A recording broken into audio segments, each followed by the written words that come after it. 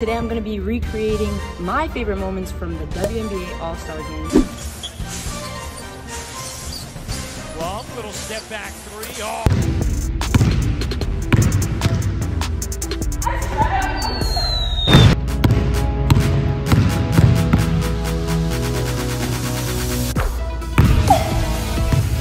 James ATO, by the way. Yeah, exactly. Oh, Cobb.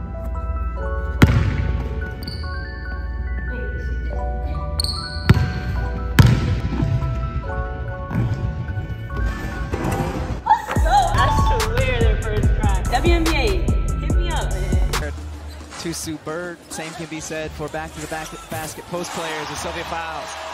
Hey, Cam.